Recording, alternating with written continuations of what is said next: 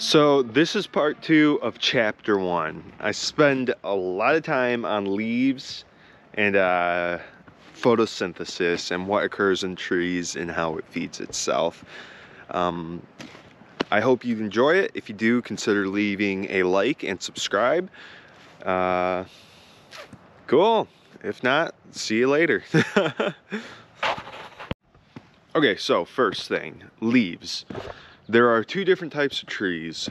There are deciduous trees, the trees that shed their leaves in the fall and grow back in the spring.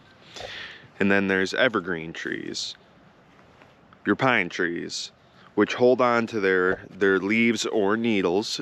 You know, the book just refers to them as uh, leaves, but um, they hold on to their needles for longer than a year. So deciduous, evergreen. So it's cold outside. I decided to bring it in. Uh, as you can see, I put a lot of thought and effort into my backdrop.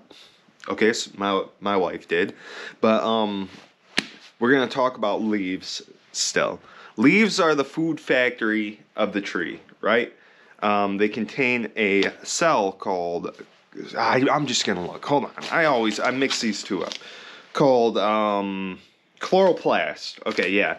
And these contain a green pigment called chlorophyll. So when sun uh, when sun hits the leaves, um, you know, um, this is fake, but when sun hits the leaves, uh, the energy of the sun is absorbed through the through the chlorophyll and is stored in the chloroplast, and this is where photosynthesis occurs. So the raw material needed for photo, photosynthesis is carbon dioxide and water.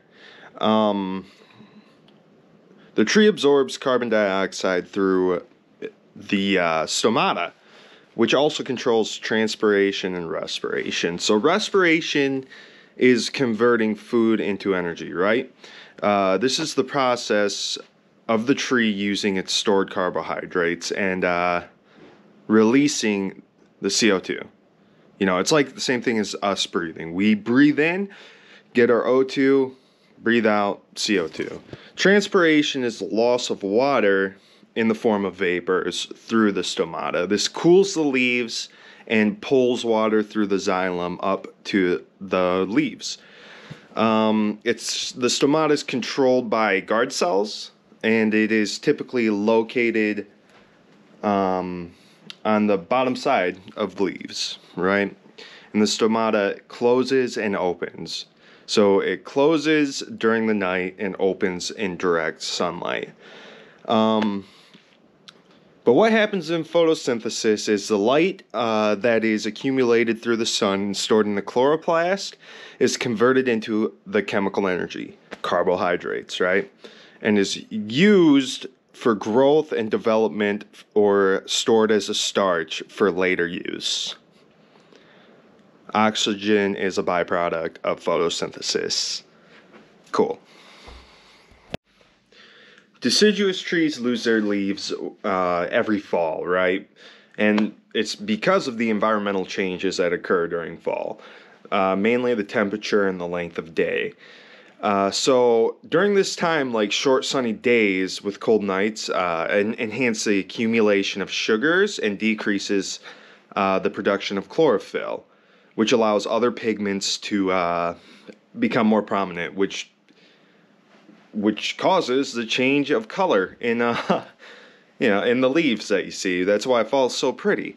Um and when they fall like they fall because of uh, uh, a zone called the abscission zone.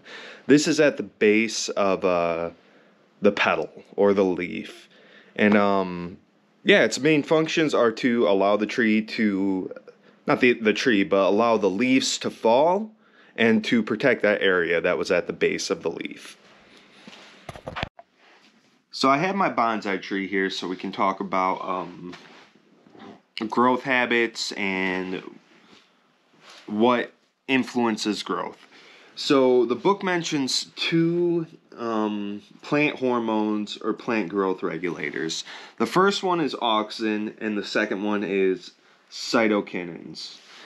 Um, they're located in the in the tip of each shoot, as well as the root caps, and um, that's about as much as I'm going to talk about. Uh, I would strongly urge you to go and read and uh, educate yourself on auxins and cytokinins because I still need to. I need to continue on, continue that. But what I am going to talk about is uh, uh, geotropism, phototropism, um, as well as excurrent growth and decurrent growth habits. So first, we're going to talk about pho- phototropism. If you notice, my little bonsai tree here is growing kind of in that direction, right? You can see the tip of the, you can see these limbs right up here. Are, everything's pointed towards the left. That's because I have a window right here and sun is coming in at this angle the majority of the day. Right? So the tree is literally growing, it's reaching out towards the sun so the leaves can get as much sun as possible to create its carbohydrates. Um, this tree, um, there's also geotropism growth, which is uh, its response to gravity. You know, um, this is I've seen like in pine trees where the the top of the tree completely bends over and starts growing downwards. It's not common. You can see uh, gravity has an effect on everything, right? It has an effect on these limbs going down which uh, are in need of pruning. Um, yeah, so geotropism is the response to gravity on the tree and its growth. Excurrent growth is um, what I would say this tree is uh, exhibiting right now. Um, extern, ex, no, not excurrent, sorry, decurrent growth. Um, and these are more rounded trees which have a lot of limbs you know lateral shoots going out um, and they're more short and stocky. And excurrent growth is uh, your typical pine tree. They have a, a, a strong they're growing upright. They have a strong central leader. Um, and yeah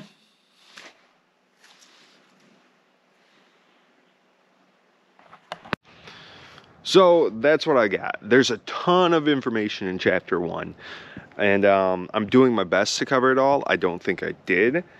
Um, I have personally read that chapter at least four or five times now. There's just so much information. I would suggest doing the same. Um, really, it all depends on how you retain knowledge, though. Uh, I am. I hope that these videos are beneficial to watch in some way. And if you're still here, by the way, thank you so much. You're the real MVP. I hope you consider subscribing and dropping a like. Um, next episode see of the series or whatever you want to call it lecture these things are hardly a lecture but um we'll be we're moving on to chapter two because i need to keep it moving along and i'll see you in the next one